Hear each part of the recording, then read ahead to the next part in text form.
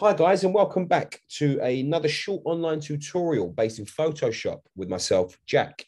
I'm one of the tutors at Blue Sky Graphics and yet again it's my absolute pleasure to welcome you here today. The reason why we are here is to discuss how we would create text stroke cutout effect, as you can see in front of you here.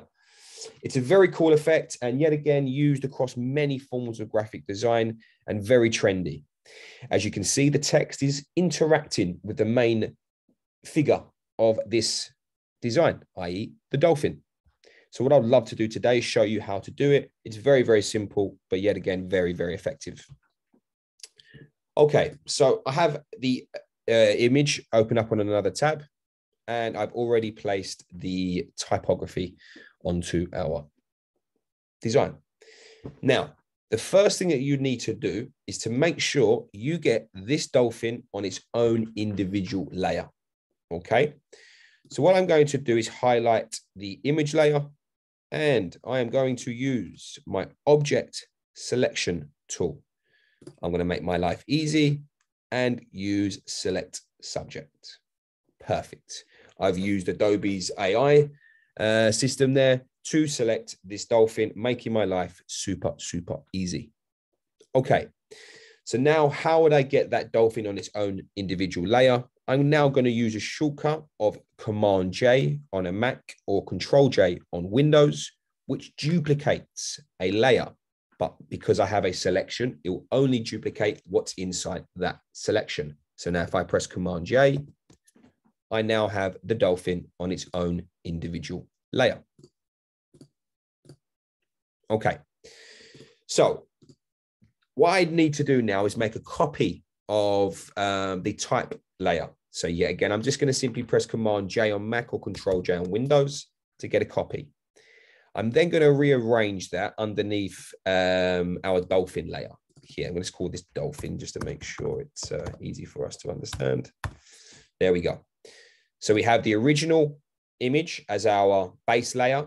We have the typography the dolphin on its own, and the typography again.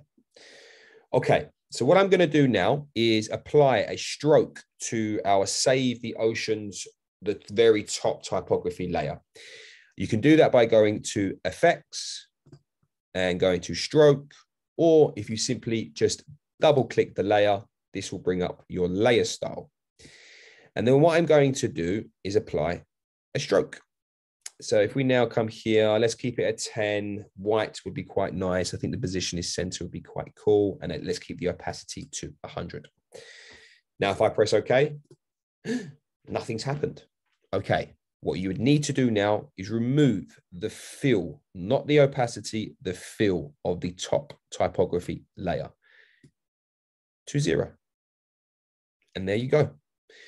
The beauty of this also now as well, where we have everything on its own individual layer, if I was to press Command on Mac or Control on Windows to highlight the two typography layers, if I use my Move tool, wherever I move my typography, it will always be interacting with our main dolphin because of the arrangement of our layers. So guys, that is how you create the text stroke cutout effect. Trust me when I say a very, very popular type of design. And as you've seen, a very, very simple way of doing it.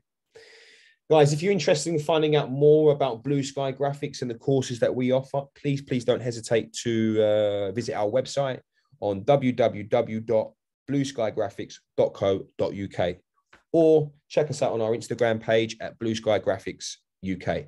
Guys, have an amazing day and see you soon and enjoy designing. Take care.